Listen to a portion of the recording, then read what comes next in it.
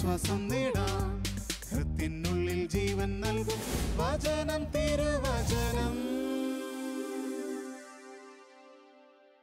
ദൈവപിതാവിന്റെ സ്നേഹവാത്സല്യവും ക്രിസ്തുവിന്റെ കൃപാകടാക്ഷവും പരിശുദ്ധാത്മാവിന്റെ നിറവും നിങ്ങൾ സമൃദ്ധമായി ഉണ്ടാകട്ടെ. ജീവിതത്തെ അർത്ഥപൂർണമാക്കുന്നത് ചില സ്നേഹബന്ധങ്ങളുടെ നിറവില ജീവിതം സുന്ദരമാവുന്നത് സൗഹൃദ ബന്ധങ്ങളിലാണ് ആർക്കും ഒറ്റയ്ക്ക് ജീവിക്കാനാകില്ല. No man is an island കാരണം ആ വിധത്തിലാണ് ദൈവം നമ്മുടെ ഹൃദയത്തെ രൂപപ്പെടുത്തിയിരിക്കുന്നത്. നാം സ്നേഹിക്കണം നാം സ്നേഹിക്കപ്പെടണം. അതിനുദാത്തമായ സൗഹൃദ ബന്ധങ്ങൾ വേണം. ഒരു ദുഃഖം വരുമ്പോൾ ആ ദുഃഖം കൈമാറാൻ ഒരു ആത്മസുഹൃത്ത് വേണ്ടേ? സന്തോഷം വരുമ്പോൾ അത് പങ്കുവയ്ക്കാൻ ഒരു സ്നേഹിതം വേണ്ടേ? കഷ്ടകാലത്തും സമൃദ്ധിയിലും കൂടി നിൽക്കാൻ ഒരാൾ. ദുരന്തത്തിലേക്ക് വീണു പോകുമ്പോൾ കൈത്താങ്ങാകാൻ ഒരാൾ. അങ്ങനെ ഒരു സ്നേഹിതൻ നിങ്ങൾക്കുണ്ടോ?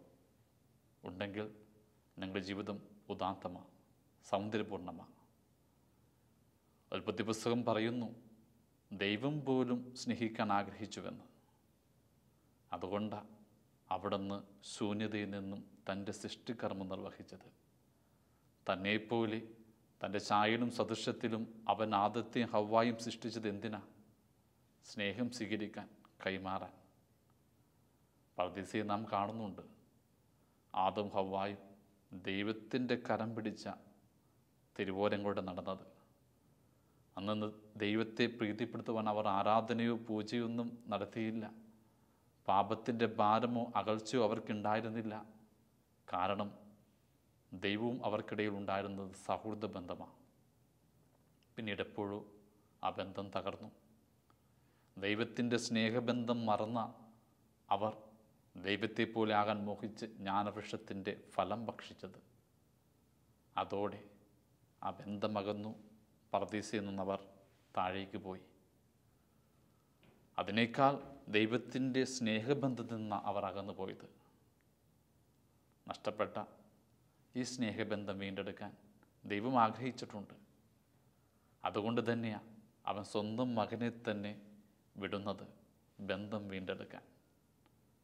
ആ യേശുനാഥൻ ഭൂമിയിലേക്ക് വന്നു കാലത്തൊഴുത്തി പിറന്നു മുപ്പത് വർഷം അജ്ഞാതമായി ജീവിച്ചു മൂന്ന് വർഷം പരസ്യ ജീവിതത്തിലൂടെ കടന്നുപോയി അവനും ഒരുപാട് സ്നേഹിതരുണ്ടായിരുന്നു ഒടുവിൽ. കാൽവരിൽ അവൻ മരിച്ചപ്പോൾ എന്ത് സംഭവിച്ചു? ജെറുസലേം ദേവാലയത്തിലെ പവിത്രമായ അൾത്താരയ്ക്ക് മുമ്പിലുള്ള ആ അങ്കി നടുവേ കീറിപ്പോയി. അതൊരു സൂചനയാണ് മനുഷ്യരുണ്ടാക്കിയ അകൽച്ച ക്രിസ്തുവിന്റെ മരണബലിയിലൂടെ മാറ്റപ്പെട്ടുവെന്ന് പഴയ സൗഹൃദബന്ധം വീണ്ടും രൂപപ്പെട്ടുവെന്ന്. നമുക്കും വേണം നല്ല സ്നേഹബന്ധങ്ങൾ ദൈവവുമായിട്ടും മനുഷ്യരുമായിട്ട്. പക്ഷേ ഇന്നത്തെ കാലം വളരെ മോശമാണ് സൗഹൃദബന്ധങ്ങളൊക്കെ നഷ്ടപ്പെട്ടുകൊണ്ടിരിക്കുക. മനുഷ്യരൊക്കെ സ്വാർത്ഥാലികളായിക്കൊണ്ടിരിക്കുക. വീട്ടിൽ തന്നെ എല്ലാം ലഭ്യമാണ്. ചില ചെറുപ്പക്കാരൊക്കെ ജോലി ചെയ്യുന്ന ഓഫീസിലല്ല സ്വന്തം മുറിയിൽ കമ്പ്യൂട്ടറിന്റെ മുമ്പിലാണ് കളി പോലും വീട്ടുമുറ്റത്ത് മാത്രം. വായനകൾ വീട്ടുമുറ്റത്ത് മാത്രം. എന്തിന്? ഭക്ഷണം ഒന്ന് ഫോൺ വിളിച്ചാൽ മുറിയുടെ മുമ്പിൽ എത്തുകയാണ് പുറത്തേക്ക് പോകേണ്ട സാഹചര്യങ്ങളില്ല. ബന്ധങ്ങൾ രൂപപ്പെടുത്തേണ്ട ആവശ്യമില്ല. പതിയെ പതിയെ അവർ സോർത്താലുക്കളായിട്ട് മാറുന്നു. ദീർഘമായ ബന്ധങ്ങൾ പലരും ആഗ്രഹിക്കുന്നില്ല. കുടുംബജീവിതം തന്നെ തകർക്കപ്പെട്ടുകൊണ്ടിരിക്കുകയാണ് ദൈവം നമുക്കുള്ളിൽ സ്നേഹത്തിന്റെ വിത്ത് പാകിയിട്ടുണ്ട്. അത് വളരണം പങ്കുവെക്കപ്പെടണം ഫലമണിയണം. അതിന് ഉദാത്തമായ സ്നേഹബന്ധങ്ങൾ അനിവാര്യമാണ്. ഒന്ന് നോക്കുക. എന്നും പ്രഭാതത്തിൽ ചില മധ്യവയസ്കർ വീട്ടിൽ നിന്നും അടുത്തുള്ള ചായക്കടയിലേക്ക് പോകുന്നത് എന്തുകൊണ്ടാണ് വീട്ടിൽ നല്ല ചായ കിട്ടാത്തത് കൊണ്ടൊന്നുമല്ല. പഴയ ബന്ധങ്ങളൊക്കെ ഒന്ന് പുതുക്കാനാ. കളിത്തമാശകൾ പറയാനാ. ചില പൊങ്ങച്ചങ്ങളൊക്കെ പറയാനാ. അത് ഉള്ളിലെ ആ സ്നേഹബന്ധത്തിന്റെ ആഗ്രഹത്തിന്റെ പ്രതിഫലനമാണ് എന്തുകൊണ്ടാണ് ചെറുപ്പക്കാർ വീട്ടിൽ ഒരുപാട് പുസ്തകങ്ങൾ ഉണ്ടായിരുന്നിട്ടും അതൊക്കെ അവിടെ വെച്ചിട്ട് വായനശാലയിലേക്ക് പോകുന്നത് കൂട്ടുകാരോടൊപ്പം സല്ലപിക്കാൻ തന്നെയാണ് ഇതൊക്കെ അബോധം അവരുടെ ഉള്ളിലുള്ള സ്നേഹബന്ധത്തിന്റെ ആഗ്രഹത്തിന്റെ അടയാളമാണ് പ്രകാശിപ്പിക്കുന്നത്. തീർച്ചയായിട്ടും നമുക്ക് ആ ബന്ധം വേണ്ടേ? ദൈവവുമായിട്ട് പ്രത്യേകിച്ച് ഓർത്തു നോക്കുക. ബൈബിളിന്റെ താളുകൾ പറയുന്നത് നല്ല സ്നേഹബന്ധങ്ങൾ ജീവിതത്തിൽ രൂപപ്പെടണമെന്ന. പ്രത്യേകിച്ച് ദൈവവുമായിട്ട്. ഓരോ താളിലുമുണ്ട് ദൈവം ചില വ്യക്തികളെ സ്നേഹത്തോടെ സ്വന്തം ചങ്ങാതിയായിട്ട് പരിഗണിക്കുന്നതായിട്ട്. സ്നേഹം തീവ്രമാകുമ്പോൾ അവർക്കിടയിൽ കലഹം പോലും സംഭവിക്കുന്നുണ്ട്. ഒന്നോർത്ത് നോക്കുക. അബ്രഹാം ദൈവം പ്രത്യേകം തിരഞ്ഞെടുത്തൊരു മനുഷ്യനാണ് അതുകൊണ്ട് തന്നെ ചില തീരുമാനങ്ങൾ ദൈവം എടുക്കുമ്പോൾ അത് അവനുമായിട്ട് പങ്കുവെക്കുന്നുണ്ട് സ്വതവും കൊമറയെ നശിപ്പിക്കുവാൻ ദൈവം തീരുമാനിച്ചു. കാരണം അവർ ഒരുപാട് ഒരുപാട് പാപം ചെയ്ത് അവനിന്ന് നിന്ന് അകന്നുപോയി. അവർ ശിക്ഷിക്കാൻ ദൈവം തീരുമാനിച്ചപ്പോൾ ആ രഹസ്യം അവൻ അബ്രഹത്തോടാണ് പങ്കുവയ്ക്കുന്നത്. സ്വന്തം സ്നേഹിതനായ അബ്രഹത്തോട്. അപ്പോൾ അബ്രഹാം ആ നാട്ടിലെ നീതിമാന്മാരുടെ എണ്ണം പറഞ്ഞ് വാദിക്കുന്നുണ്ട് ആ നാട് രക്ഷിക്കുവാനായിട്ട്. ഒന്നല്ല പലവട്ടം വാദിച്ചു. സത്യത്തിൽ ഈ സംഭാഷണം രണ്ട് സ്നേഹിതർക്കിടയിലുള്ള സംഭാഷണമല്ലേ? മോശയെടുക്കുക. ദൈവം അവനെ പ്രത്യേകം തിരഞ്ഞെടുത്തവനാ. ഒരുപാട് കുറവുകളുണ്ടായിരുന്നു വിക്കുണ്ടായിരുന്നു മുൻകോപമുണ്ടായിരുന്നു. എന്നിട്ടും തന്റെ പ്രിയപ്പെട്ട ഒരു സ്നേഹിതനായിരുന്നു മോശ. ഇസ്രയേൽ ജനത്തെ വാക്തത്വ ഭൂമിയിലേക്ക് കൊണ്ടുപോകാനായിട്ട് ദൈവം അവനെയാണ് നിയമിച്ചത്. എന്നാൽ യാത്രയുടനീളം ഈ മോശ ദൈവവുമായിട്ട് പലവട്ടം തർക്കിക്കുന്നില്ലേ? മരുഭൂമിയിൽ വെച്ച് അപ്പമില്ലാതെ ഇസ്രയേൽ ജനം വലഞ്ഞപ്പോൾ ദൈവത്തോട് തർക്കിച്ചത് കൊണ്ടാണ് ദൈവം ആകാശത്തു നിന്നും മന്ന കൊടുത്തത്. ഓറോബിൽ വെച്ച് ആ ജനത്തിന് ദാഹമുണ്ടായതുകൊണ്ടാണ് ദൈവത്തോട് സംസാരിച്ചവൻ പാറയിൽ നിന്നും ജലം കൊടുത്തത്. അവർക്കുടനീളം സംഭാഷണങ്ങളാണ് സ്നേഹതർക്കങ്ങളാണ് ഈ സൗഹൃദ ബന്ധം നമുക്കുണ്ടോ? ഒന്നോർത്ത് നോക്കുക. യാക്കോബ് എന്ന പഴയ നിയമത്തിലെ മനുഷ്യൻ. ഒരുപാട് ഇടറിപ്പോകുന്ന മനുഷ്യനാ. സ്വന്തം സഹോദരനെ പോലും വഞ്ചിച്ചവനാ. എന്നിട്ടും ദൈവത്തിന് അവൻ ഒരുപാട് ഇഷ്ടമാ. തിരിച്ചും ഒടുവിൽ പെനുവേൽ തീരത്ത് വെച്ച് എന്ത് സംഭവിക്കുന്നു? അവർക്കിടയിൽ ഒരു യുദ്ധം തന്നെ ഉണ്ടാകുന്നു. ഒരു മൽപ്പിടുത്തം ശത്രുക്കൾക്കിടയിൽ ഉണ്ടാകുന്ന മൽപ്പിടുത്തമല്ല രണ്ട് ചങ്കാതിമാർക്കിടയിൽ ഉണ്ടാകുന്ന മൽപ്പിടുത്തം ഒടുവിൽ ദൈവം തന്നെ സ്നേഹം കൊണ്ട് അവനെ കീഴടക്കുന്നുണ്ട്. അവന്റെ തുടയിൽ പോലും പെട്ടുന്നുണ്ട്. പക്ഷേ അവസാനം അവൻ എന്താ പറഞ്ഞത്? ദൈവമേ നീ എന്നെ അനുഗ്രഹിച്ചിട്ടല്ലാതെ നിന്നെ ഞാൻ വിടുകയില്ല. ഒരു കലഹത്തിന് ശേഷവും അനുഗ്രഹത്തിന് വേണ്ടി യാചിക്കുന്നൊരു സ്നേഹിതൻ. ഇതുപോലെ എത്രയെത്ര സ്നേഹിതരാ. ദൈവത്തിന് ബൈബിളിലുള്ളത്. ജറമിയ ഓർക്കുക.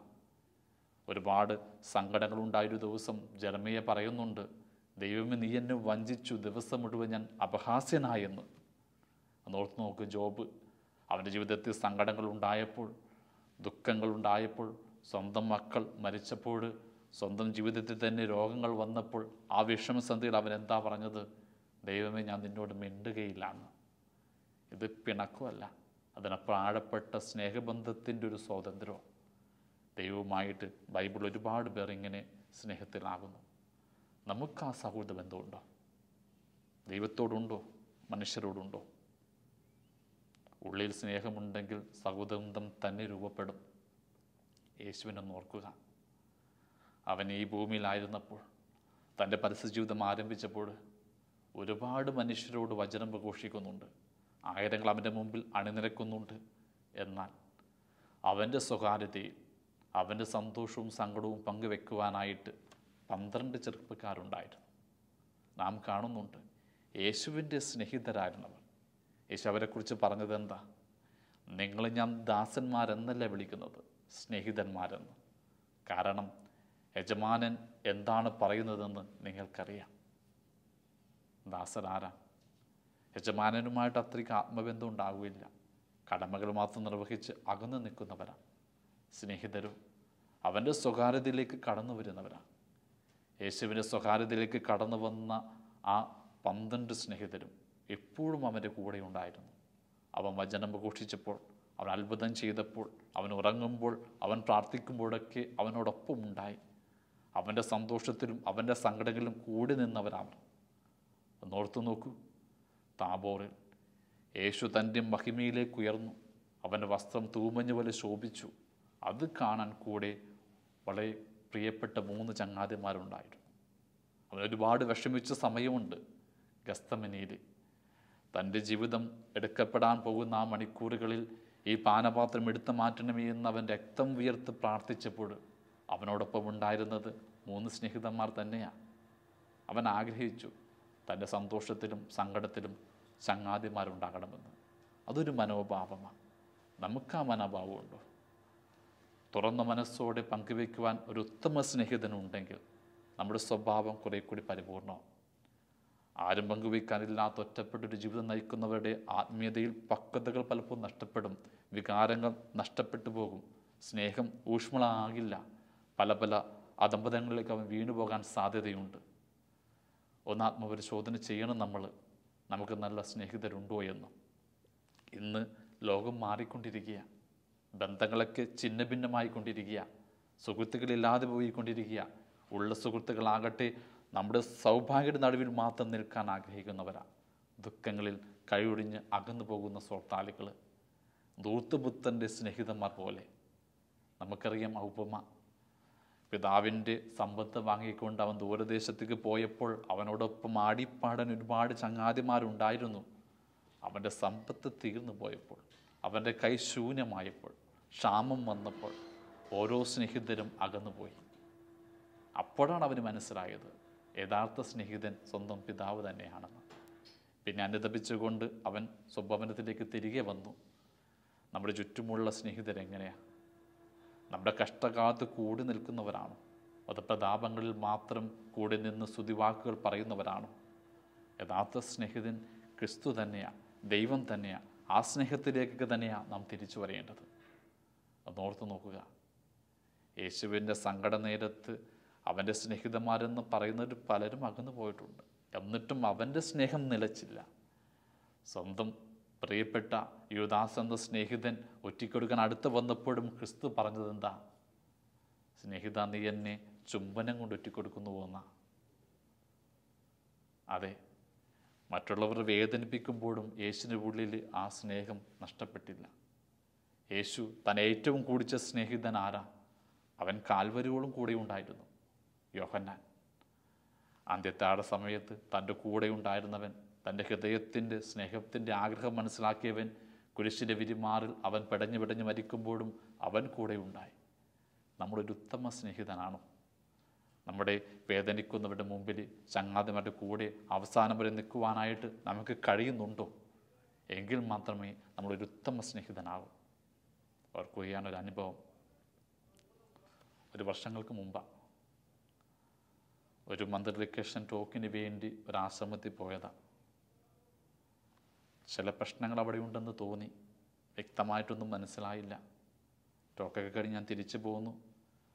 രണ്ട് മൂന്ന് ദിവസങ്ങൾ കഴിഞ്ഞു. രാത്രി വളരെ വൈകി. ആശ്രമത്തിൽ നിന്നും ഒരു സഹോദരൻ വിളിച്ചു. ഓർക്കണം പന്ത്രണ്ട് മണിക്ക് കഴിഞ്ഞിരിക്കണം. ഉറക്ക ചടവുണ്ടായിരുന്നു എങ്കിലും എടുത്തു. ഒരു തേങ്ങുന്ന സ്വരമായിരുന്നു അപ്പുറത്ത് നിന്നും. കാരണം വല്ലാതെ ഒറ്റപ്പെട്ട വേദനയോടെയാണ് ആ സഹോദരൻ സംസാരിച്ചത്. ആശ്രമത്തിൽ വല്ല പ്രശ്നങ്ങൾ ഒരുപാട് കുറ്റാരോപങ്ങളേക്കുന്നു ഈ ദൈവവിളി തന്നെ ഉപേക്ഷിച്ചു കൊണ്ട് പോകണമെന്ന് തോന്നി. അങ്ങ് തീരുമാനിച്ചു കൊണ്ട് തന്നെ വീട്ടിലേക്ക് വിളിച്ചു. പക്ഷേ വീട്ടിൽ ആരും എടുക്കുന്നില്ല. വൈകിയതുകൊണ്ട് ആത്മീയ ഗുരുവിനെ വിളിച്ചു. അദ്ദേഹം എടുക്കുന്നില്ല. ഉള്ളിലെ സങ്കടം കൈമാറണമെന്ന് തോന്നിയപ്പോൾ കിട്ടിയ ഫോൺ നമ്പർ വിളിച്ചതാ എന്നെ. ഞാനെല്ലാം കേട്ടു നിന്നു. പണ്ട് ജീവിതത്തിൽ സംഭവിച്ചതൊക്കെ കുടുംബത്തിലെ പ്രശ്നങ്ങളൊക്കെ വീണ്ടും ഒരുപാട് സംസാരിക്കാനുണ്ടെന്ന് തോന്നിയപ്പോൾ എല്ലാം ഞാൻ കേട്ടുകൊണ്ടേയിരുന്നു. എപ്പോഴോ ചാർജ് തീർന്നപ്പോൾ ഞാൻ തിരികെ ഫോൺ വിളിച്ചു. ഒരുപാട് ഒരുപാട് പറഞ്ഞു കഴിഞ്ഞപ്പോൾ ഉള്ളിൽ ശാന്തമായി. പിന്നെ പതിയെ പതിയെ ഞാൻ അദ്ദേഹത്തോട് സംസാരിക്കാൻ ആരംഭിച്ചു. ദൈവളിയുടെ പ്രാധാന്യത്തെക്കുറിച്ച് പറഞ്ഞു നഷ്ടപ്പെടുത്തരുതെന്ന് പറഞ്ഞു സ്നേഹത്തോടെ ഉപദേശിച്ചു. ഒടുവിൽ അദ്ദേഹം തീരുമാനം മാറ്റി. അവസാനം പറഞ്ഞു ഞാൻ ഒരുപാട് പേര് വിളിക്കാൻ ശ്രമിച്ചു. ആരെയും കിട്ടിയില്ല. അച്ഛൻ മാത്രം കേട്ടു. എന്റെ ഉള്ളിൽ അച്ഛനൊരു ആത്മസ്നേഹിതനാണ് ഇനി ഞാൻ എന്നും വിളിക്കും. അദ്ദേഹം വിളിച്ചുകൊണ്ടേയിരിക്കുന്നു. ചിലപ്പോൾ ഞാനും വിളിക്കുന്നു. ഞങ്ങൾക്കിടയിൽ സഹോദരൻ രൂപപ്പെട്ട ഒരു ആത്മബന്ധം. കാരണം സങ്കടങ്ങൾ കേൾക്കാൻ ഒരു കാതുണ്ടായതുകൊണ്ടാണ് ജീവിതത്തിൽ നമുക്ക് കഴിയണം. സ്വാർത്ഥതയെ മാത്രം ജീവിക്കാതെ അതിനപ്പുറം കടന്നുപോയി ബന്ധങ്ങളെ ഊഷ്മളമാക്കാനായിട്ട് കഴിയുന്നുണ്ടോ നമുക്ക്? തീർച്ചയായിട്ടും. നല്ലൊരു സ്നേഹിതനാണോ നമ്മൾ നമ്മുടെ കുടുംബത്തെ നമുക്കൊന്ന് ഓർക്കാം. ഒന്നിച്ച് ജീവിക്കുന്നു ഒന്നിച്ച് ഭക്ഷണം കഴിക്കുന്നു ഉറങ്ങുന്നു എന്നിട്ടും സ്വന്തം ജീവിത പങ്കാളിയെ പോലും മനസ്സിലാക്കാൻ കഴിയാത്ത എത്ര പേര് ചുറ്റുമുണ്ട്.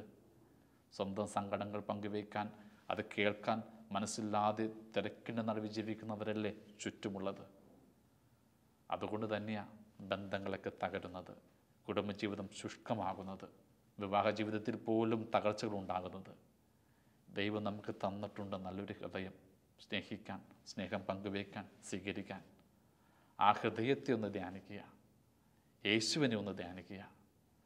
അവൻ മനുഷ്യരുമായിട്ടുള്ള സ്നേഹ ഈ ഭൂമിയിലേക്ക് കടന്നു വന്നത്. അവരോടൊപ്പം ജീവിച്ചത്. അവനും ആ പന്ത്രണ്ട് സ്നേഹിതരും തമ്മിലുള്ള ബന്ധങ്ങളൊന്ന് നോക്കുക.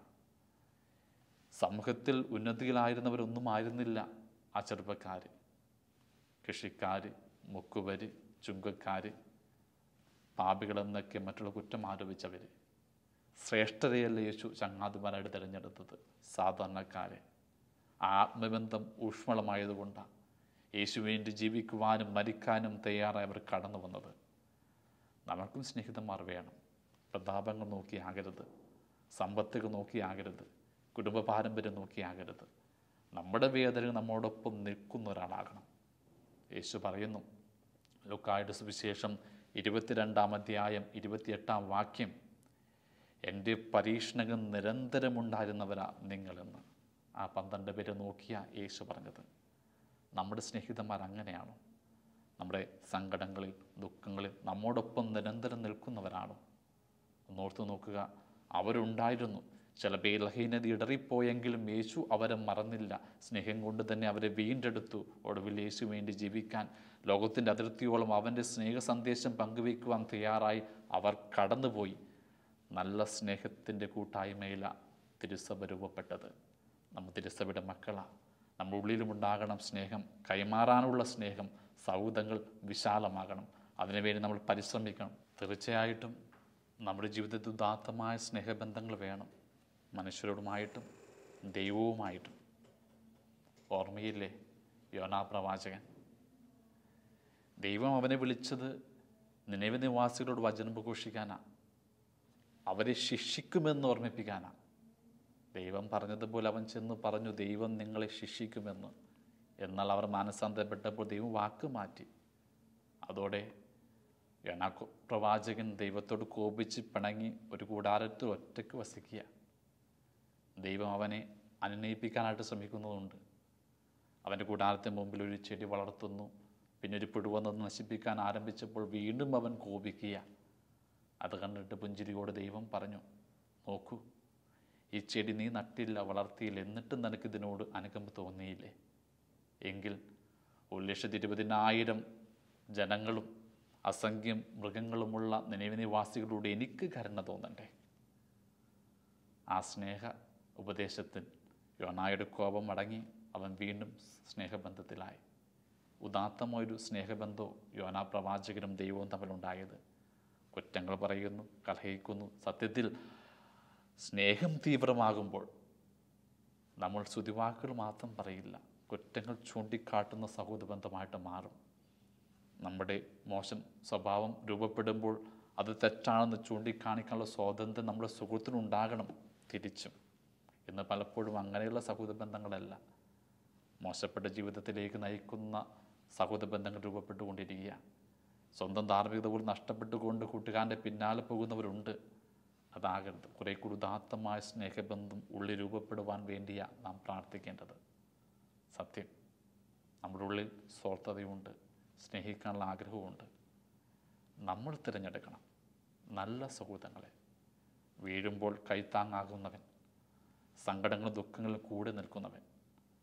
നാം നമ്മുടെ ഉള്ളിലെ സ്നേഹം കൈമാറുമ്പോൾ ജീവിതത്തിന് അർത്ഥം വരും. അതൊരു പക്ഷേ കുടുംബത്തിന്റെ ഏറ്റവും വലിയ നന്മയുടെ അടയാളമായിട്ട് മാറും. ദൈവം സ്നേഹിതരെ അന്വേഷിക്കുന്നുണ്ട് ഇപ്പോഴും. ക്രിസ്തു ഈ ഭൂമിയിൽ സ്നേഹമെന്തെന്ന് പഠിപ്പിച്ചു തന്റെ ചങ്ങാതികളിലൂടെ. കുറേ കൂടി നന്മ നിറഞ്ഞ സ്നേഹിതർ നമുക്കുണ്ടാകട്ടെ. നല്ലൊരു സ്നേഹിതനായിട്ട് നിങ്ങൾ മാറട്ടെ. നമുക്കൊന്ന് പ്രാർത്ഥിക്കാം.